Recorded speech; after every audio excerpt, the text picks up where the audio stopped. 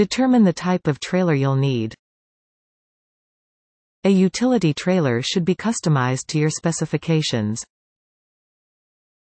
You will need to decide on the length, the weight capacity, and whether or not it will be enclosed. For example, if the utility trailer will be used for lumber or building materials, it may need stronger suspension and larger wheels. For ease of loading and unloading, especially lumber, you would probably not want it enclosed. You would also want to make it long enough to hold lumber and sheeting.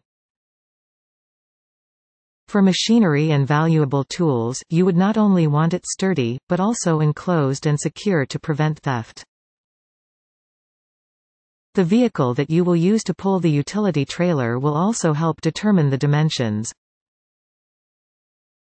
For example, a utility trailer to haul groceries behind a bicycle will necessarily be much smaller than a utility trailer for a Suburban, built to haul a table saw.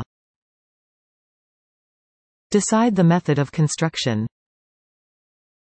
You may choose to build a utility trailer from scratch or assemble a kit. Either way, the right tools and materials are essential. Search online websites for utility trailer kit plans or visit a home improvement store, or tractor supply dealer for ideas. Confirm your level of ability. In the planning stages, it's important to be aware of your construction and mechanical expertise and capabilities. Building a utility trailer from scratch will require welding skills, an aptitude for carpentry, and electrical knowledge to install tail lights. It also helps if you're comfortable with heavy lifting. Gather the materials and tools. Working according to a utility trailer plan will help you gather the right components.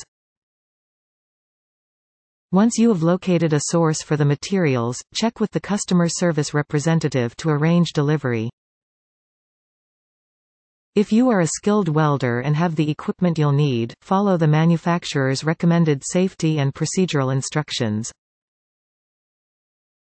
Most designs consist of a bed, a hitch, a tongue the wedge shape that extends from the front, an axle with wheels, tail lights, and a license plate frame. Many of the components for utility trailers tongue, hitch, axle, jack, and tail light assembly can be purchased fully assembled, allowing for easier construction. Construct the trailer frame. The frame will consist of four steel angle iron rods, two for the sides, and two for the front and back. Depending on the established length of the trailer, the sides might be longer than the front and back. Weld the angle iron rods together for the bed frame. Assure the corners are squared. Weld support beams made of flat iron across from side to side. Bolt pressure treated 2 by 6 inch 5.1 by 15.2 centimeters boards to the frame, parallel with the sides inside the lip of the angle iron. Cut lumber with a circular saw. Drill holes in the angle iron with a variable speed drill and drill bit designed for metal. Attach boards to frame bed. Attach the axle and tires. Use a hydraulic jack to raise up the frame. Block all four corners to keep it elevated. Weld the axle under the framing.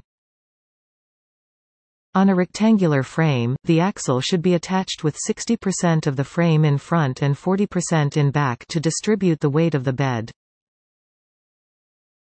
Using the lug bolts and nuts included with the axle kit, install the predetermined sized tires on the axle. Finish out the other parts.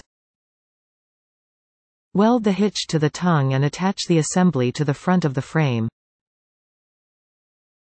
Attach the jack behind the hitch on the tongue. Route electrical wires from the front to the rear for the tail lights. Assure the tail light connector is in front. The tail light assembly will consist of a combination of park, brake, and signal lights. The wiring harness should be secured under the trailer and the lights attached to rear with bolts on either side.